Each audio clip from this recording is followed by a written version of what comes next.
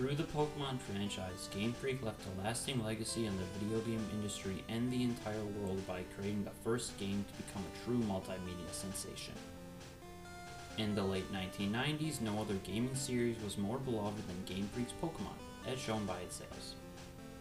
Game Freak became an industry leader by bringing about a new generation of video games that bridged the gap between other mediums such as a trading card game, television series, and merchandise, creating the ideal example of these new cross-medium video games through Pokemon. In 1982, Satoshi Tajiri and a group of his friends decided to write a gaming magazine that would appeal to them, filling it with tips and tricks for the latest video games.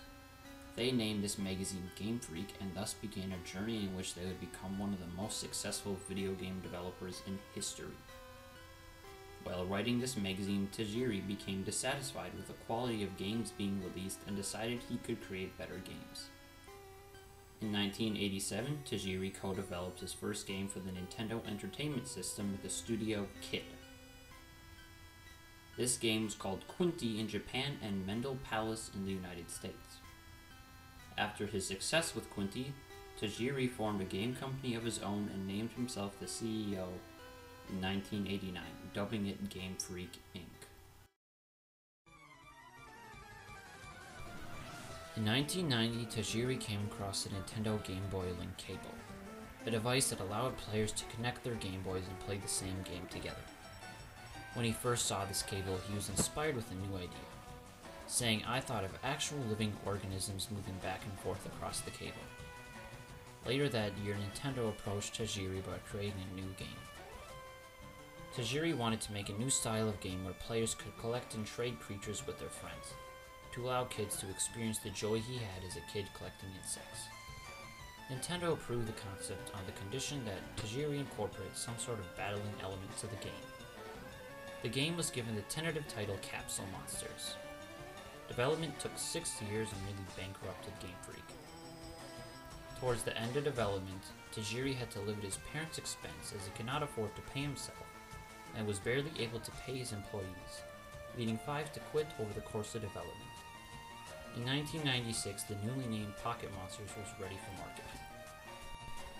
In 1996, Pocket Monsters Green and Pocket Monsters Red were released in Japan. In total, the games contained 150 creatures called Pokemon and encouraged players to collect them all. Each game contained 10 exclusive creatures, which encouraged trading between the games. Soon the games were nicknamed Pokemon and started gaining popularity. In the first three months, the games had already sold 3 million copies. Soon, an animated Japanese TV show, a Japanese comic book, a trading card game, and various toys were released to capitalize on Pokemon's popularity.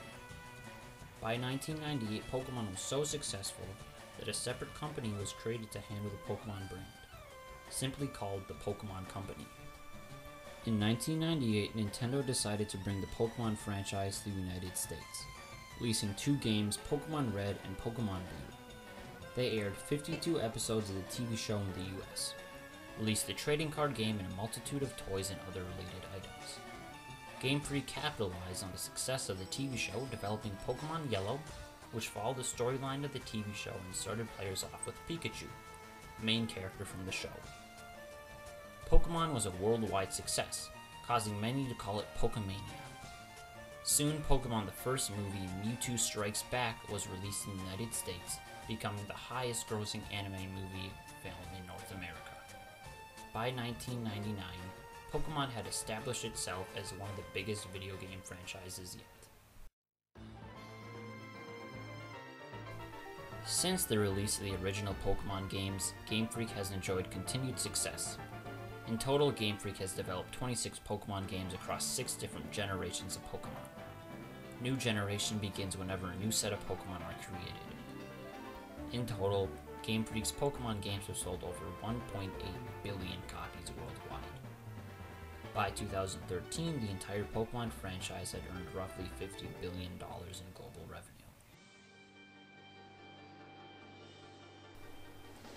Pokemon established itself as a leading cross platform franchise during the late 1990s, when it led the video game industry into a new wave of games that crossed into other mediums. These new games range from Digimon, which shares many similarities with the Pokemon franchise, to the recently released Sonic Boom.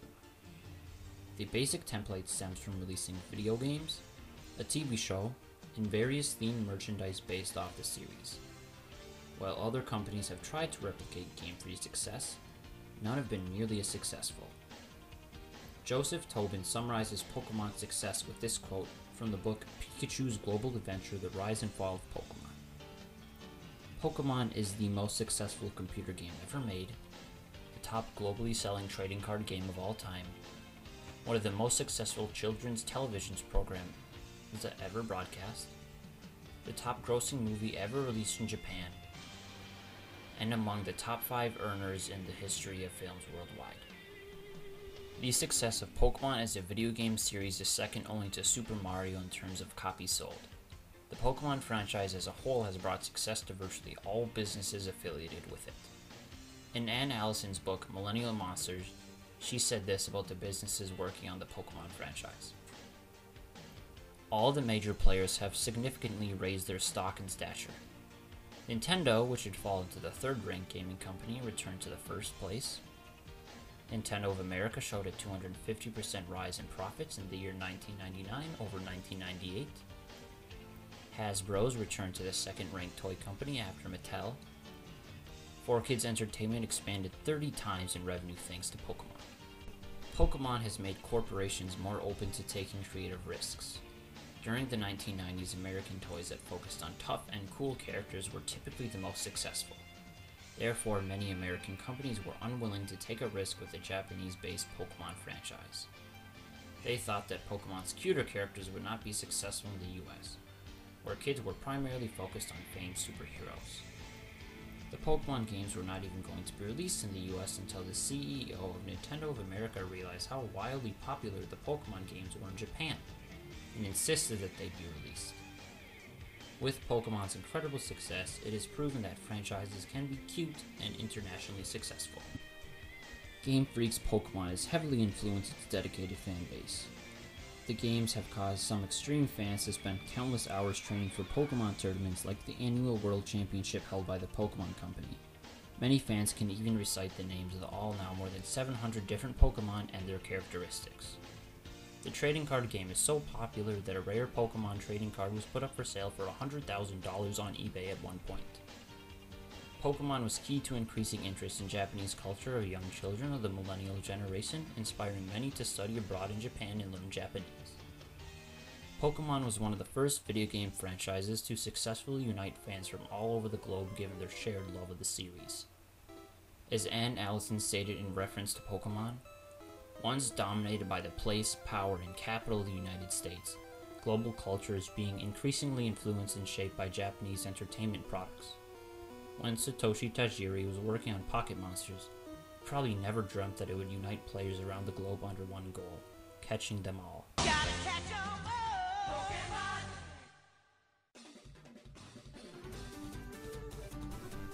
Through the Pokemon franchise, Game Freak led the video game industry into a new wave of video games focused on branching out into other mediums. No other gaming series could stand up to Pokemon in the late 1990s in terms of popularity, and few had such dedicated fans as Pokemon during its prime. Through Pokemon, Game Freak has left an incredible legacy for the video game industry and the entire world by showing that the multimedia sensation it created had the ability to unite people around the world. As Kubo Masakazu observed, there has never been a game that has spread so broadly around the world and gone beyond race, language, values, and religion in the sense of its international commonness and the spectacular speed as well as breadth of its worldwide circulation, we could say that the phenomenon of Pokemon is unprecedented in human history.